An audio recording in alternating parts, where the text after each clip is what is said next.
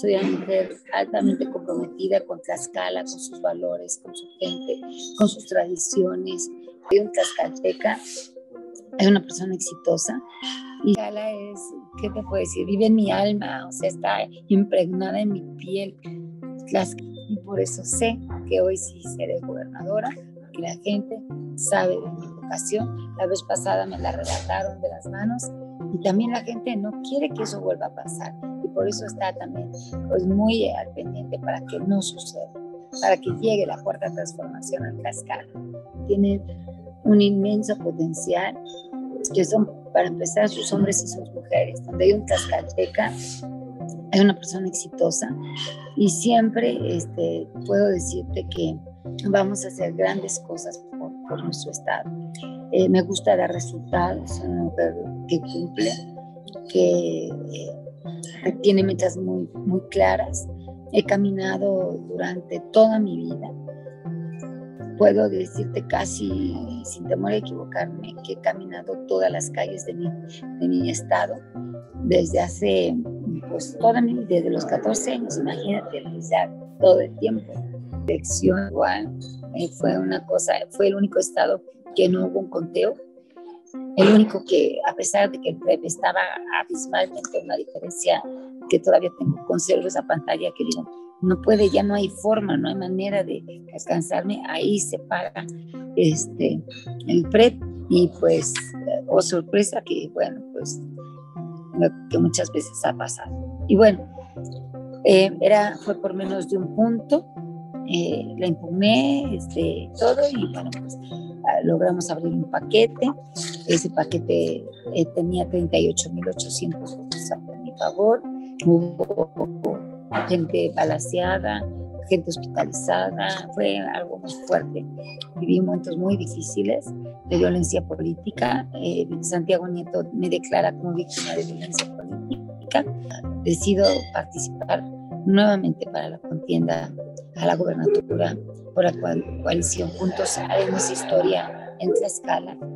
Y esa, esa coalición este, es la más importante de todo el país, la más fuerte, la más fuerte porque eh, de todos los estados, de todos los 15 estados que están en juego de la gobernatura, fue la, la que logró la unidad de los cinco partidos. Y bueno, pues aquí estamos en campaña, pues a un mes ya de de este, poder eh, decidir qué vamos a hacer.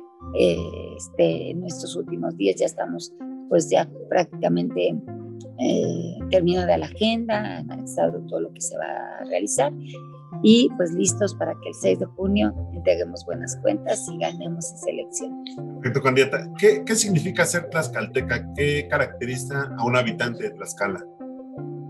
Ay, es lo máximo. Yo creo que esa, esa pregunta creo que fue mal, fue mal hecha, que pues, estuvo muy mal que me la dijeras, porque te voy a hablar horas y horas. La escala es, ¿qué te puedo decir? Vive en mi alma, o sea, está impregnada en mi piel. La escala para mí significa eh, eh, la expresión más bella, más maravillosa de los hombres y mujeres más trabajadores, yo dijera, de todo el país. Yo, donde hay un Tlaxcalteca, hay un, hombre o una mujer exitosa. Hay gente en la UNESCO, hay gente eh, en la NASA, hay gente haciendo cosas para todo el mundo. Y de verdad es, es maravillosa la creatividad de un Tlaxcalteca. Un Tlaxcalteca es, es un guerrero, porque nacimos de, tenemos por nuestras venas corre sangre guerrera. Y siempre yo hago esa, esa reflexión con la gente de que tenemos que hacer las cosas bien, de que si nos vamos a meter a hacer algo es porque la vamos a hacer bien, porque vamos a, vamos a distinguirnos. No podemos estar en los últimos lugares, tenemos que luchar para que Tlaxcala sea ejemplo. de manera resumida, las tres principales problemáticas del Estado y cómo, sería, cómo las, vas, las vas a atacar, candidato. Mira, hay, hay en, mi, en mi plan estatal tengo ocho ejes sectores ya muy bien definidos, pero en todo lo que eh, ha sido el focus group, las, las encuestas y sobre todo con INEGI, aquí temas que nos dicen exactamente qué es lo que quiere la gente. Primero, su, mayor preocupación es la, la, la inseguridad. El segundo es la salud y el tercero es el desarrollo económico. Son los tres temas fundamentales. En la salud, pues tenemos un tema, pues primero, eh, cómo vamos a, a, trabajar en el tema COVID para ir preparando, pues es todo un tema, ¿no? es todo un, la base de, de, cómo vamos a trabajar.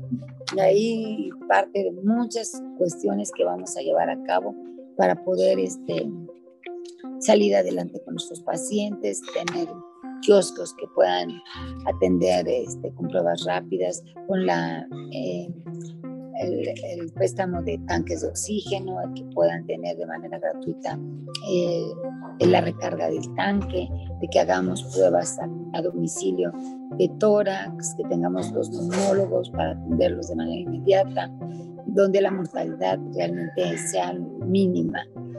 Yo, si no hubiera sido maestra, hubiera sido doctora.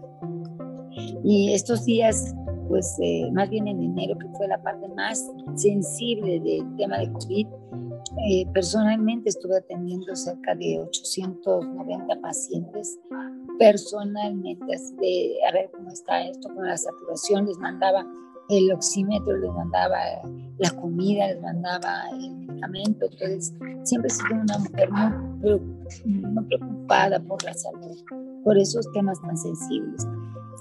Y bueno, esa es una parte, pero también necesitamos que no falten los medicamentos, que haya especialistas. Hoy no tenemos en Cascada un tercer nivel, necesitamos traumatología y ortopedia, oncología, geriatría, cardiología y realmente implementar esos servicios que hoy por hoy no los tenemos. Tenemos 30 ambulancias para dar un servicio de emergencia que, que es urgente para salvar vidas, necesitamos por lo menos 80 ambulancias. Y eso es lo que vamos a trabajar mucho en el equipamiento, en, no tanto en la infraestructura, la infraestructura la, la existe. Tenemos que trabajar en los equipamientos, en, en eh, la postada. Contratar personal calificado también buenos médicos y desde luego con todas las especialidades. Lo que sí vamos a crear es el Instituto Estatal de Insuficiencia Renal. Nosotros tenemos el primer, lamentablemente, el primer lugar en enfermos renales en niños y en jóvenes. Es un tema que yo me he dedicado muchos años. Ha sido años de investigación, años de esfuerzo, de leyes, de mil cosas.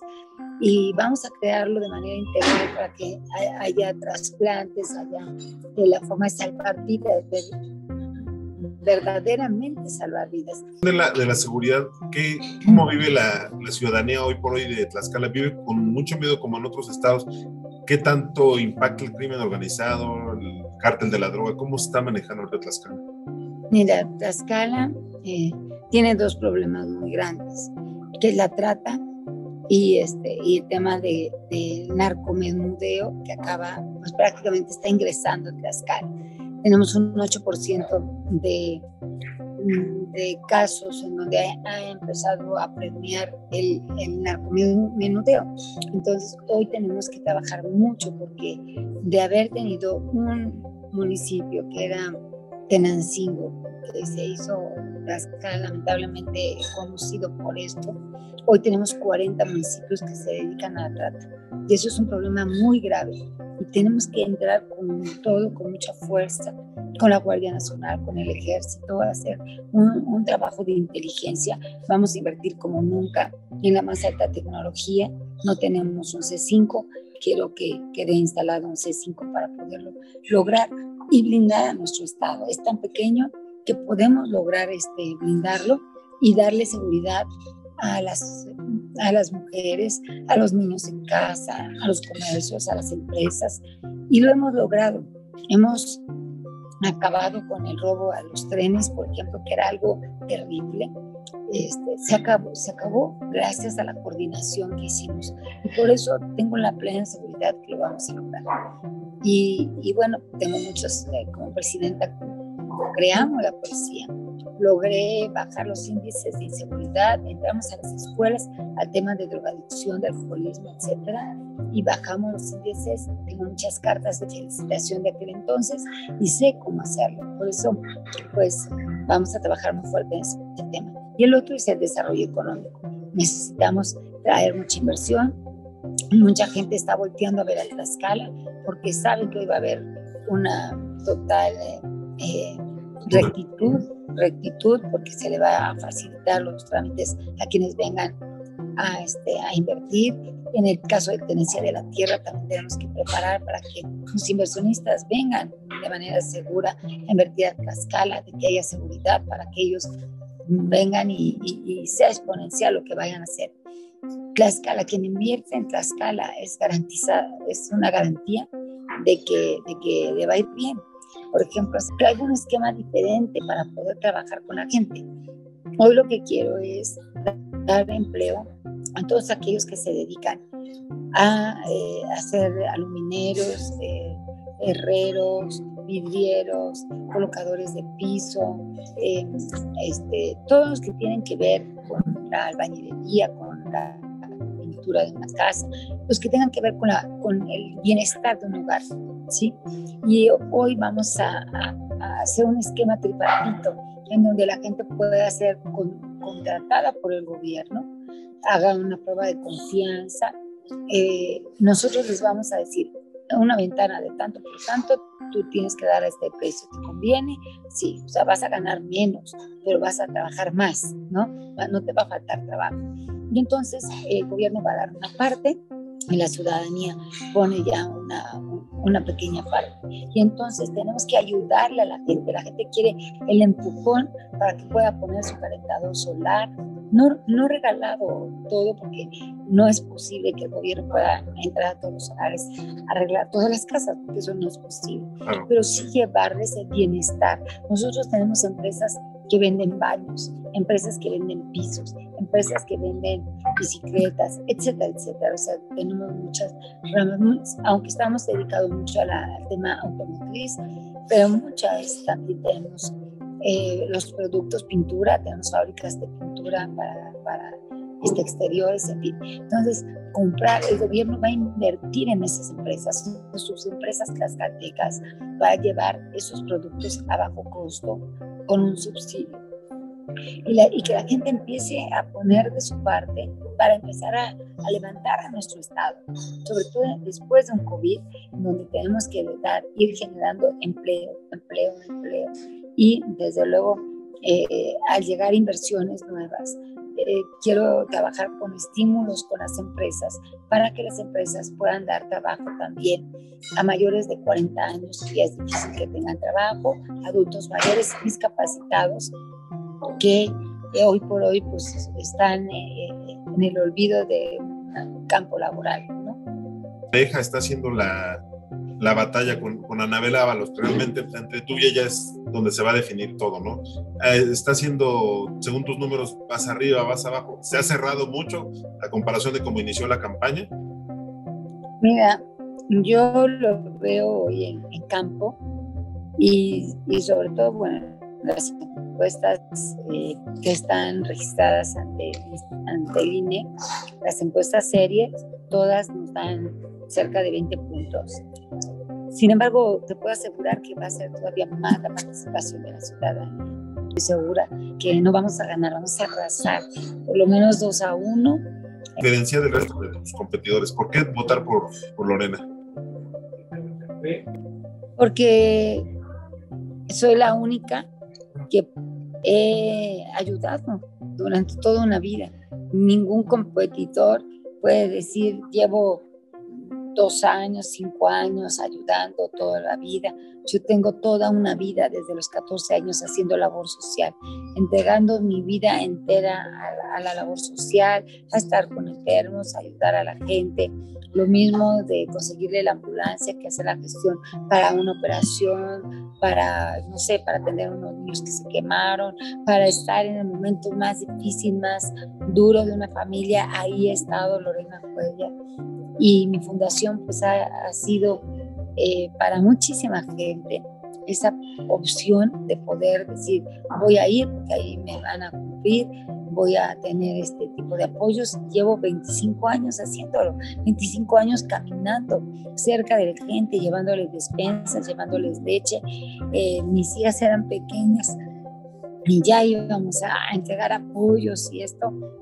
Llevábamos eventos artísticos, me disfrazaba yo para hacer las obras porque no teníamos pues con qué pagar y siempre, siempre la labor, la labor social ha estado en mí durante toda la vida y eso es lo que me hace pues totalmente diferente de los demás y por eso sé que hoy sí seré gobernadora que la gente sabe de mi vocación. La vez pasada me la relataron de las manos y también la gente no quiere que eso vuelva a pasar y por eso está también pues muy al pendiente para que no suceda, para que llegue la cuarta transformación al Tlaxcala. Tenemos que entrar mucho en la parte del empoderamiento de la mujer, de, las, de su psicología, de, de, de, de sí, tú puedes, o sea, porque mucha gente aguanta porque se piensa que no puede salir adelante con sus hijos y eso es lo que la ata muchas veces. Y sí, se ha dado casos muy violentos y, y bueno, pues ahí es mucho trabajar en ese tema de, empoderar a la mujer, de, decirle que es capaz, de que pueda una mujer salir a, hacer, a poner su negocio, a sentirse un poco libre, eh, de tener, pues, de tener la forma de, de, ganarse la vida y de que sí se puede y que hoy pues, tendrán una mujer gobernadora que también las, las va a cobijar, las va a apoyar, las va a respaldar en todos los sentidos. ¿Tú has sido víctima alguna vez de violencia de género? Sí, en la campaña pasada este, lo denuncié. Tuve tres atentados, fue bastante fuerte la campaña pasada. Tuve tres atentados, eh, mi equipo pues, fue lastimado, hubo gente, carros que, fueron balaseados, gente golpeada, este, fue muy, muy, muy duro eh, la prensa toda apagada, este, con un tema bastante grotesco, muy fuerte. Y la verdad es que pues no ha sido fácil. Para una mujer es doblemente más complejo eh, llegar a un puesto de, elección popular. Que el respeto tiene que eh, siempre ser parte de un todo. Y yo respeto mucho a quienes protegen a los animales, ¿no? Son como dos cosas distintas, ¿sí? Y, y he hecho como muy claro de todo lo que voy a hacer para quienes hoy cuidan de, de los animalitos, de, de, que no sean este, lastimados, de las terreras, que pues hay un gran abuso de maltrato animal y, y, cómo voy a ayudar a los refugios y cómo vamos a hacer convenios con, con los veterinarios para bajar los costos, con las empresas alimenticias para poder, eh, si demuestran que tienen albergues de animalitos, poderles ayudar con sus gastos, a lo mejor no de manera directa, pero sí indirecta. Y, esto ellos, ellos traigo una agenda para ellos muy definida. Entiendo que Cascala tiene ¿Eres una tradición. ¿Sí te gusta los ¿Eres taurinato? No, bueno, he llegado a ir a algunas eh, pero no soy tampoco así apasionada, porque además mis tiempos no me lo permiten, no es porque no, quizá más que nada es por los tiempos. Pero, pero yo este, en esa parte, pues Cascala eh, tiene una gran afición taurina. Es, un, es una eh, posibilidad de traer un turismo muy importante. Tenemos nuestras ganaderías en Casco, tenemos este, em, una fuerza muy importante, una derrama económica que es impresionante. Desde luego, el turismo se hace exponencial cuando hay una, una corrida de toros en Cascala. Tenemos eh, las plazas, una de las plazas de toros más bellas del mundo y tenemos que aprovecharla porque esa es una parte para atraer al turismo. Entonces yo siempre seré muy respetuosa, tanto de unos que cuidan a los animales, que yo también esa parte la, la cuidaré mucho y los protegeré mucho, como de quienes pues hoy este, pues eh, tienen una tradición muy arraigada, que es, que es una, una tradición cascalteca ancestral, ¿no? De generación en generación. Entonces, pues eso no puede perderse. Te digo una palabra y me dices lo primero que te venga a la mente, por favor. Calteca. Guerrero. Gobernadora, ¿no? Gobernadora Lorena. Correcto. Morena. Morena, la esperanza de México. Perfecto. PRI. Eh, la corrupción. Perfecto. Cuarta transformación. Eh, la transparencia. Fiesta taurina. Tradición. Tlaxcala. Mi vida. Lorena Cuellar. Gobernadora. Perfecto, Caneto. Pues eso, eso sería todo. Te agradecemos algo más que, que quieras agregar. Pues ya este 6 de junio invitamos a todos a que vayan a las urnas a demostrar de qué somos capaces los tlaxcaltecas y a que yo sé que, que, quieren que llegue la cuarta transformación y vamos entre todos a, hacerla llegar cuidando las urnas, estando muy pendientes y yendo a, votar y después a festejar porque cambiará la vida de todos los tlaxcaltecas.